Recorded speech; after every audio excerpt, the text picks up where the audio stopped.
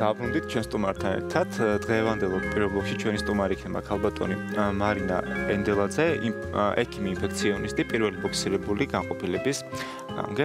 გამარჯობათ ქალბატონი მარინა და ჩვენ შესაძლოა ვილაპარაკეთ რომ ვისაუბრებთ ჰერპესის ვირუსზე. აა და ჰერპესის ვირუსები, ჰერპესის ოჯახი, თვითონ ვირუსების ოჯახი ძალიან დიდი ოჯახია. არ მომწონს ეგ ოჯახი. დიდი და მაბნე. ძალიან დიდი ეს powerful ანუ ძალიან ძლიერი ოჯახია ვირუსების და საერთოდ რა არის ჰერპესი და რატომ დავიწოდეთ ჰერპეს ინფექციაზე? ჰერპეს ვირუსული ინფექციები როგორც ვთქვით მართლა ძალიან დიდი ოჯახია 2000-მდე ვირუსი არის აღმოჩენილი, მაგრამ აქტუალური უფრო მეტად მოსახლეობისათვის არის პირველი ხუთი. თუმცა არანაკლებ არის დანარჩენი სხვა და მათ შორის 8 ტიპის ჰერპეს ვირუსი, ძირითადად აი ჩვენს ქვეყანაში საკმაოდ გავრცელებულია და უპირველი გავრცელებულია. იცით რა მოსახლეობაში ჰერპეს ვირუსები როდესაც ახსენებ, უფრო მეტად ასოცირდება მარტივ ჰერპესთან, აი ეს ლორწოვანზე, ტუჩის ლორწოვანზე, ბუშტუკოვანი გამონაკლისის სახით და რომლითაც პრაქტიკულად პრაქტიკულად დაახლოებით 80% 90% მოსახლეობის ინფიცირებულია. ეს გახლავთ პირველი ტიპის მარტივი შედარებით, ხო? მარტივი ტიპი პირველი ტიპის ჰერპესული ინფექცია, რომელიც ტუჩის არეში შეიძლება ყურის ნიჟარაზე, თვალის არეში და ასე შემდეგ განვითარდეს მუშტუკოვანი ელემენტის სახით. ჰერპესული ინფექციები, აი მე გითხარით, თქვენ ხუთი ტიპის გახლავთ უფრო აქტუალური. ეს გახლავთ პირველი, მეორე, ესენი მარტივი ტიპის ჰერპესები გახლავთ ახლოთ პირველი მეორე ტიპის ჰერპეს ვირუსი. მესამე ტიპის ჰერპეს ვირუსი არანაკლებ აქტუალური, ეს ჰერპეს ზოსტერია, ეგრეთ წოდებული ჩუტყვავილის, ეგრეთ წოდებული არა ჩუტყვავილის გამომწვევი ვირუსია და ასევე მას შეუძლია ჩუტყვავილა გადატანილებში და იმუნოდეფიციტის მქონე პირებში გამოიწვიოს ჰერპეს ზოსტერი. ესეც საკმაოდ გავრცელებულია, განსაკუთრებით ხანდაზმულებში, იმუნოდეფიციტის მქონე პირებში და ასე შემდეგ. მეოთხე ტიპის ჰერპეს ვირუსული ინფექციაც ასევე ეპშტეინ შეინბარის ვირუსი, ეს კარგად ცნობილი ინფექციური მონონუკლეოზის გამომწვევი ვირუსია. მეხუთე ტიპის ჰერპეს ვირუსი ეს გახლავთ ციტომეგალოვირუსული ინფექცია, რომელიც საკმაოდ მინდა გითხრათ, აი მნიშვნელოვანია იმ ხრივ, რომ შეიძლება კლინიკურად და დაუხად პირველად ინფიცირებისას არ იყოს ძალიან ატიპიურად და უსიმპტომოთაც კი წარიმართოს, თუმცა არც ისე ხშირად და ხშირად ცხელებით და საკმაოდ დიაგნოსტირებაც კი გართულია, იმიტომ რომ არ აქვს. რაიმე ისეთი მნიშვნელოვანი კლინიკური სიმპტომო კომპლექსი, მაგრამ განსაკუთრებით მნიშვნელოვანია, იმიტომ რომ მის თანდაყოლი სიმახინჯეებს იწევს. თუმცა ჰერპეს ვირუსული ინფექციები ამ ხრივ ყველანი რაღაც გარკვეულწილად აგრესიულები არიან და საფრთხილონი არიან. არიან. ეს გახლავთ მეხუთე ტიპის. ჩემთვის აღმოჩენდა იყო რომ მონონუკლეოზი ამ ოჯახის წევრი იყო. აი მე მაინც მინდა გითხრათ მეექვსე ტიპს. ეს მეექვსე ტიპის ჰერპეს ვირუსი ეს შედარებით უფრო ნაკლებად ცნობილი არის საზოგადოებაში და შეიძლება ითქვას არა სპეციალისტად ავხათ არა ინფექციონისტებში, ექიმებში ეს გახლავთ უეცარი ეგზანთემის, ანუ მეექვსე დაავადების გამომწვევი. უპირატესად ბავშვებში გვხდება ეს დაავადება და გამონაყრის სახით ვითარდება, რომელსაც დიფერენცირება უნდა, ასე რომ აიცით ყოველა გამონაყარი ალერგია შეიძლება შეგვეშალოს ხო ალერგიასა და სხვა რომელიმე ინფექციას შორის, თუმცა მას იმდენად დამახასიათებული სპეციფიური კლინიკა აქვს, რომ ნაკლებად უნდა შეეშალოს გამოცდილ სპეციალისტს, რამდენადაც გამონაყარი აუცილებლად მეექვსე ტიპის ჰერპეს ვირუსული ინფექციის დროს, ანუ უცარი ეგზანთემის დროს ვითარდება ტემპერატურის ნორმალიზების შემდეგ. ანუ ცხელების პროცესში თუ არის გამონაყარი, მაშინ ჩვენ ამ დაავადებაზე ვერ ვიფიქრებთ. ეს ვირუსი ასევე ასოცირდება ფიქრობენ ქრონიკული დაღლილობის სინდრომთან. მეშვიდე ტიპის ჰერპეს ვირუსიც და ვქოთ ქრონიკული დაღლილობის სინდრომთან ასოცირდება და ასევე ლიმფოპროლიფერაციულ დაავადებასთან. ანუ ქრონიკული დაღლილობის სინდრომა შეიძლება გამოიწვიოს ეს მეშვიდე არა არა დაავადება. ვირუსმა შეიძლება გამოიწვიოს ქრონიკული დაღლილობის სინდრომი. ნუ მერვე ტიპი უფრო ნაკლებად გავრცელებულია, ეს უფრო მეტად იმუნოდეფიციტის მქონე პირებში. აი ინფიცირებულებშია და სერიოზულ კაპოში სარკომას იწევს ძალიან მოკლედ ჩვენ ვილაპარაკეთ, რომ ძალიან ბევრი ტიპის ჰერპეს ვირუსი არსებობს, ჩვენ ალბათ ისევ რამდენადაც მოსახლეობისთვის ყველაზე უფრო ცნობილი არის პირველი ტიპის ვირუსი, ეს მარტივი ვირუსები, ამას დაუბრუნდეთ. თქვენ ახსენეთ ძალიან საინტერესო სტატისტიკა, რომ მოსახლეობის 80%-ს აქვს ჰერპეს ვირუსი, ეს არ არის მარტო საქართველოს მონაცემები, ეს დედამიწის მონაცემებია, ნუ წარმოიდგინეთ, სადღაც გამოდის, რომ 6 მილიარდი ადამიანი ინფიცირებულია. ინფექციით. რამდენადაც ეს ინფექციური პროცესი ახوارჯობია, ვისაუბროთ რა შეიძლება იყოს გადაცემის გზები. რა ტიპის ინფექციაა ეს და და გამომწვევ ფაქტორებზე. კი, გამომწვევ ფაქტორები, გამომწვევ ფაქტორები ვიცხოვრს არ ჰერპეს ვირუსი. ჰერპეს ვირუსია პირველი მეორე ტიპი, პირველი არის უფრო მეტად სხეულის ზედა ნაწილში და გადაცემის გზები. ჰაერწვეთოვანი, კონტაქტური. დიახ. შეიძლება იყოს ტრანსმისიული, რა თქმა უნდა, თუ კი დაავადებული სისხლით გადაისხმება და ასევე ტრანსპლანტაციულადაც გადაეცემა, ანუ დედან ნაყოფს შეიძლება გადავიდეს ეს. ანუ დედან ნაყოფს გადადის ბარიერს თუ უბრალოდ მშობიარობის პროცესში ხდება პერიოდში და შეიძლება მშობიარობის პროცესშიც მოხდეს ინფიცირება, ჰერპეს ვირუსული ინფექციების, მაგრამ როდესაც დედის ორგანიზმშია ჰერპეს ვირუსი აი ეს მინდა თუ როდესაც ორსულობის დროს დაგვემთხოვე რომ გამოვლინდა ეს ჩვენი ჰერპეს ვირუსი მარტივი. აი ცით რა ნაკლებად საშიშროებას წარმოადგენს ამკლობს ჰერპეს სიმპლექსი კომპლექს პირველი. ანუ მეორე ტიპის ჰერპესული ინფექცია უფრო საშიშია და საშიშია და განსაკუთრებით აი ინტრანატალურად დაბადების პერიოდში გადატანასთან მშობიარობის დროს და ამიტომაც ისმევა ხომებ საკითხი თუ კი მწვავე ჰერპესული ინფექცია აქვს დედას ორსულს, მაშინ შეიძლება საკეისროც კი იყოს, მაგრამ ეს უფრო გენიტალურ ჰერპესი, ანუ მეორე ტიპის ჰერპესი არის. ანუ ჩვენ პირველი ტიპის ჰერპესი და მახასიათებელია უფრო სხეულის ზედა ნაწილში, უპირატესად ტუჩის, ლოკის როგორც გითხარით, ლორწოვალის და ტანის ჰერპეს ლაბიალის ეძახლა. ეს უფრო ნაკლებად საშიშია ნაყოფისათვის და ზოგადად ვიდრე მეორე ტიპის ჰერპესული, რომელიც უფრო გენიტალურ ორგანოებს აზიანებს, ნუ თუმცა არ არის გამორიცხული პირველი ტიპის ჰერპესი, იქეთ მოხდეს ახლა ეს გადაცემის გზებთან არის დაკავშირებული როგორი გზით გადაეცა. ძალიან საინტერესო ისტორია ქონია ჰერპეს ვირუსს. ამ ძალიან დიდი ხანი რა თქმა უნდა, კაცობრიობა არსებობს, ეს ვირუსიც არსებობს, ალბათ მასთან ერთად ისე როგორც ძალიან ბევრი სხვა ვირუსი და ძალიან ბევრი ინფექციური პათოლოგია, ეს არ არის ახალი ინფექციური პათოლოგია. უბრალოდ ის რომ ამას იწვევს ჰერპეს ვირუსი, ეს დაახლოებით 40-იან წლებში გახდა ცნობილი იმის შემდეგ, რაც ვირუსის იდენტიფიცირება მოხდა.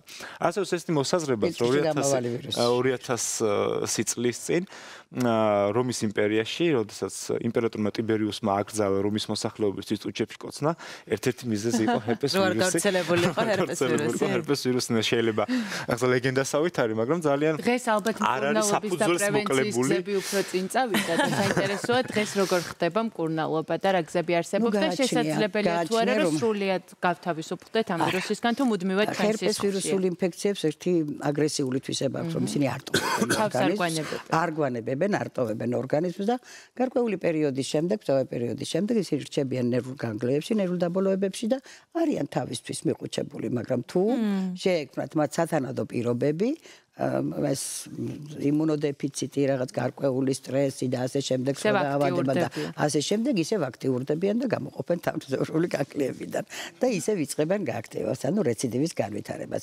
აი კოცნის დაავადება თქვენ რომ ახსენეთ, ხო ყველაზე მეტად კოცნის დაავადებას მონონუკლეას ეძახიან. ეს ეპშტეინ-ბარის ვირუსი, ის ჰერპეს ვირუსული ინფექცია გახლავთ, რომელიც გავრცელებულია და უფრო ხშირად თინეიჯერულ ასაკში ვრცელდება, ვინაიდან აი კოცნა ყოველი შეხვედრისას კოცნა და ასე შემდეგ. ეს უკვე იწევს ხშირად გადადებას რამდენადაც განსაკუთრებით აი ეპშტეინ-ბარის ვირუსი დაავადებულს საკმაოდ ხშირად აქვს ხანგრძლივად რჩება ნერვში ვირუსის გამოყოფა. და ამიტომაც აი უკვე რეკონვალესცენტი უკვე პრაქტიკულად მორჩენილ პაციენტს შეიძლება რომელმაც გადაიტანა ინფექციური მონონუკლეოზი, მის ნერვში ისევ გამოიყოფოდეს ვირუსი და ამიტომაც კოცნით უფრო ადვილად გადავა. მე ძალიან მაინტერესებს ხოლმე სტატისტიკა და სტატისტიკიდან ძალიან ბევრი ინტერპრეტირების საშუალება შეიძლება ხოლმე სტატისტიკა დავნახე ესეთი რაღაც თუ ეს რეალობა და ჩვენთან რა ხდება? მაგმართულებით ეს რომ დავადგინოთ რომ შედარებით ნაკლები უფრო რესურსების ნაკლებობის მქონე ქვეყნებში ადრე რასაც ღარიბ ქვეყნებს ეძახოდნენ, იქ უფრო ხშირი ახალმე და უფრო გავრცელებული ჰერპეს ვირუსი შედარებით უფრო მეტად განვითარებულ, ანუ უფრო მდიდარ ქვეყნებთან შედარებით. რასთან შეიძლება იყოს ეს დაკავშირებული? ნუ და ეს არ თუ არა სოციალური კულტურის ბრალი უფრო. რა თქმა უნდა, სოციალური კულტურის ბრალია. რა თქმა უნდა, კონტაქტური გზით გადადის, აი ნერწში არის კონტაქტით გადადის, ანუ ეს ხელის დაბანასთან ისევ როდესაც ჩვენ გონი გრიპსაც ვისაუბრეთ ამის თვითონ ასე შემდეგ ძალიან მნიშვნელოვანი ასევე არის ეს გა არა მარტო კოცნით, აი შეიძლება მესამე საგნითაც გადავიდეს, როდესაც ნერწყვით ხდება და რა თქმა უნდა ეს არის სოციალური პირობებთან და ზოგადად მოსახლეობის აქვე როგორ მარტო მე როგორც ვიცი საყოფა ცხოვრება ნივთების გამოყენებით თერპესი არ გადადის, იმიტომ რომ ეგრევე კვდება გარემოში. არა, ეს გააჩნია ხანგრძლივობას, რამდენ ხანს არის გააჩნია ხანგრძლივობას, რამდენ რამდენ ხანში იღუპება. ძალიან მოკლე ხანში კი მალე კვდება ვირუსი, მაგრამ ამ გზითაც შეიძლება.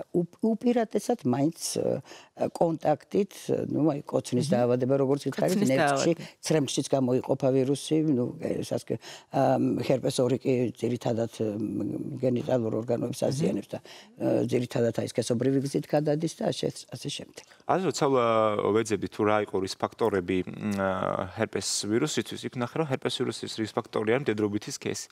რატომ იცლება ეს ანატომიური ჰერპესის მეორე ზია ლაპარაკი ეს მდედრობითი სქესის ანატომიური აგებულების გამო ხდება ეს. ტუჩსეც აი ეს მარტივი ჰერპესი, რასაც თქვენ ამბობთ, ძირითადად მე პირადად გოგონებში შემხვედრია რა, ვიდრე მამაკაცებში. ეს პირველი ტიპია, ხო, როგორც თქვენ? პირველი ტიპია, კი, პირველ ტუჩზე განვითარებული არა, მამაკაცებშიც არის, მაგრამ ქალებში უფრო ხშირად. უფრო ხშირად. თქვენ ხსენეთ ძალიან საინტერესო რაღაცა, რომ მეექვსე ტიპის ჰერპეს ვირუსი, ეს უცა ეგზამ თემა, ვითარდება სიცხის ნორმალიზების შემდეგ. ანუ ხალხში გავრცელებული ესეთი ლეგენდები, როგორც არის ნასიცხარი, ნათაგური და ასე შემდეგ, შეიძლება დავაკავშიროთ ამ ვირუსთან. არა, ნათაგური სხვანაირად არის, უფრო ალბათ ჰერპეს ესთან არის დაკავშირებული. ნასიცხარის შეიძლება ალბათ დავაკავშიროთ, იმიტომ რომ აი უეცარ ეგზანთემეს ეს ახასიათებს. ახლა იცით რა, დიაგნოსტირება მაინც და მაინც არც ისე ხშირად ხდება საქართველოში. მეც როგორც ხდები პროგრესი ყოველთვის პირველ ტიპის ვირუსად ფასდება ხოლმე. დასმა ბოდიში რომ გაწყვეტინებ ხდება გარეგანი დათვალიერების შედეგად და ეს კლინიკური სურათი უკვე საკმარისია რომ დავსვათ დიაგნოზი. საკმარისი რა თქმა უნდა არ არის. გამოცდილი თვალი, როდესაც იცის და პლუს სპეციალისტი მიხვდება რომ ეს არის, მაგრამ საბოლოო დიაგნოსტირებისათვის მაინც ყოველთვის ლაბორატორიული მონაცემები ადასტურებს და აქ ძირითადად კეთდება სეროლოგიური რეაქციები. რა თქმა უნდა, პოლიმერიზაციის საჭური რეაქცია ოქრო სტანდარტია, მას თვითონ ვირუსის გენომი აღმოჩნდება, მაგრამ არ არის ხოლმე საჭირო სეროლოგიური რეაქცია დაავადებების დიაგნოსტირებისათვის სრულიად საკმარისია. ანუ სისხლში შეიძლება მოხდეს ვირუსის განსაზღვრა? სისხლში შეიძლება მოხდეს ვირუსის განსაზღვრა, მაგრამ ეს უფრო ბატონო, უფრო აი და უკეთ განსაკუთრებულად უფრო ხშირად ხდება თანდაყოლი ციტომეგალო ვირუსული ინფექციების დიაგნოსტიკისათვის სისხლში ვირუსის განსაზღვრა, იმიტომ რომ კურნალობა არის საჭირო, მას აქვს თავისი სამკურნალო მედიკამენტი და როდესაც თანდაყოლია ციტომეგალო ვირუსული ინფექცია, მისთვის რა თქმა უნდა ეს მეთოდი უკვე უფრო სტანდარტია და აუცილებლად უნდა შესრულდეს. ბატონო მარიჩო, ძალიან ერთგული ვირუსები არიან და არ ვტოვებენ ბოლომდე, მაგრამ როგორ უნდა მოხდეს მათი მიძინება და რამდენად თქვა პროცენტულად რო განსაზღვროთ მკურნალობა რამდენად ეფექტურია? ხოლმე და მისი მართვა რამდენად აი ყველა ამ ჰერპეს ვირუსს აქვს სხვადასხვა ტიპი, არა, სხვადასხვანაირად არის ძირთადად ერთი მედიკამენტია, თუმცა ციტომეგალოვირუსისათვის უფრო სხვა მედიკამენტი ახლა. აციკლოვირი უფრო ნაკლებად მუშაობს ვიდრე სხვა განციკლოვირი გახლავთ ციტომეგალოვირუსის სამკურნალო, მაგრამ ყოველთვის პირველი ამას გეტყვით, რომ ყოველთვის არ არის საჭირო. და ვქოთ, წავე ციტომეგალოვირუსული ინფექციის დიაგნოზი თუ დაისვა მოზრდილ ადამიანში, მას მკურნალობა არ სჭირდება. არ სჭირდება მკურნალობა ეპშტეინ-ბარის ვირუსს, ანუ ინფექციურ მონონუკლეოზს. მე მაქვს ხედველობაში ანტივირუსული მკურნალობა. აი აქაც განსხვავება არის. იცით, მწვავე ციტომეგალოვირუსისათვის აი ნამდვილად არის ეთიოტროპული საშუალებას ვეძახით ჩვენ და ვქოთ მე რაც გითხარით ეს განციკლოვირი, რომელიც ნამდვილად მოქმედებს მასზე და ეფექტურიც არის, რა თქმა უნდა. თუმცა მწვავეს არ სჭირდება ეს უკვე ქრონიკული ფორმის დროს ვიყენებთ. ხოლო ეპშტეინ-ბარის ვირუსზე პრაქტიკულად არც კი მოქმედებს. აი არის ერთი მედიკამენტი აციკლოვირი, რომელიც აი ძალიან მძიმე ფორმაში შემთხვევაში შეიძლება დავნისოთ, მაგრამ პრაქტიკულად შედეგი არ აქვს. ერთადერთი, რასაც აკეთებს, ეს არის, რომ თითქოს ვირუსის გამოყოფას უშლის ნერვში ხელს. ანუ ამისათვის, აი რაც შეეხება მარტივ ჰერპესს, მარტივი ჰერპესისათვის, გაგუგია რაღაც მალამოების სპეციალური ადგილობრივი. კი, ადგილობრივი მალამოებიც არის დამუშავება, განსაკუთრებული მნიშვნელობა მარტივი ჰერპესის დროს აქვს, აი ადგილობრივად დამუშავებას, მეორად ინფიცირება არ მოხდეს და ანტივირუსული მედიკამენტი, მაგრამ სამ მედიკამენტიც, მაგრამ სამკურნალოდ არსებობს უშუალოდ ანტივირუსული მედიკამენტი მარტივი ჰერპესის, ეს რა თქმა უნდა ვერასრულებს იმ რომს, რომ და ვქოთ ვირუსი საბოლოოდ განიდევნოს, მაგრამ აი აკონტროლებს. იმ მომენტში ჩააქრობს და ასევე შემდგომი უკვე ახანგრძლივდება რეციდივებს შორის პერიოდი. ანუ მეორეჯერ ამდახასაც დაგემართება, იცით, სხვადასხვა სქემა ანტივირუსული მკურნალობის მოწოდებული. არის აი და ვქოთ ისეთი სქემა 7 დღიანი, როდესაც უნდა უმკურნალო წვავეს მე ამ შემთხვევაში ვლაპარაკობ herpes simplex-ზე ან კიდე მძიმე რეციდივის შემთხვევაში და არის გახანგრძლივებული სქემაც, რომელიც იძლევა საშუალებას, რომ დავქოთ რეციდივებს შორის მანძილის პრევენციის როლსაც პრევენციის როლს აკეთებს. ჩვენ ვახსენეთ, რომ ეს არის ლატენტური ინფექცია, რომელსაც ახასიათებს გამწვავები და გამწვავების დროს ხდება ხოლმე სუსტად ამ ნერვების გაყოლებაზე ბუშტუკების წარმოქმნა, რომელიც ასე ვირუსს შეიცავს ეს ბუშტუკები. უკვე სხვა ჰერპეს სიმპლექსი არ გახლავთ, აი გამწვავების დროს აი ეს ზოსტერი არის, ანუ ჩუტყვავილის ვირუსი, ჩუტყვავილა გადატანილებში. რომელსაც ახასიათებს ძალიან ეს დამახასიათებელი სიმპტომები, სხვა არის მაღალი ტემპერატურა, არის მტკივნეული გამონაყარი. და მე მგონი ის არის, როგორც მე ვიცი ხო, მაინც და მაღალი ტემპერატურა მაინც ჰერპესოს, მაინც და მაინც ჰერპეს ზოსტერის დროს ნაკლებად არის იქ თუ მეორადი ინფიცირება არის. განსაკუთრებით ძლიერი ტკივილი. იცით, იწება ძლიერი ტკივილით ნერვის გაყოლებაზე, როგორც წესი სამხრივია და შემდგომ უკვე გამოჩნდება ნერვის პროექციას იმეორებს ხოლმე მთლიანად ძალიან არის არიან მაინც ასაკში მყოფი ადამიანები, ხო? უპირატესად ასაკში მყოფი ადამიანები, დიახ. ასე შეიძლება ზუსტად ინფექცია. ასევე აუცილებლად მე მინდა რომ ვახსენოთ ის რომ ეს არ არის ესეთი ძალიან მარტივი ინფექცია, როგორც შეიძლება მარტო გამნაყარით მიმდინარეობდეს, ასე მარტივ ჰერპეს განსაკუთრებით პირველ ტიპის მარტივ ჰერპესს წარმოადგენს პერადული ენცეფალიტების, ანუ თავისუფლების ანთების დაახლოებით 90%-ს, რაც კი ბატონო, მე აქაც იმუნოდეფიციტის მქონე პირებში მას შეუძლია გადაარახოს ჰემატოენცეფალური ბარიერი და არის საკმაოდ ხშირად, ნუ ხშირად ალბათ არა, ნუ ჩვენთან ინფექციონისტთა ხშირად და ისე. ალბათ არა, კი ბატონო, ხშირი არის ამ ხრივ ვირუსული მენგიტებიდან ჰერპესული მენგიტები, კი ბატონო, მენგოენცეფალიტები, მენგიტი, ენცეფალიტი ასე შემდეგ.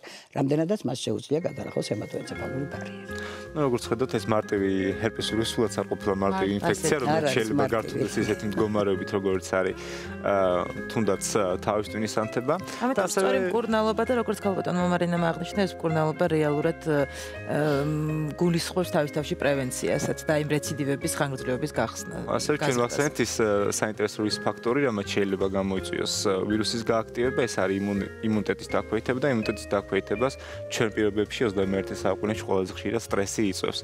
სტრესი ერთ-ერთი განსაზღვრელი ფაქტორია იმუნიტეტის კომპრომეტირების, ანუ იმუნიტეტის დასუსტების. მაგრამ სტრესი არ განსაზღვრავს მარტო იმუნიტეტის დასუსტებას, სტრესი შეიძლება ძალიან სხვა ბევრი მდგომარეობის გამშვები და წამყვანი მექანიზმიც კი იყოს. ამაზე ჩვენ შემდეგ ბლოკში ვისაუბრებთ. შემდეგ ბლოკში ვისაუბრებთ დაძაბვის თავის ტკივილზე, რა თქმა უნდა, ქალტომარინას ძალიან დიდი მადლობა.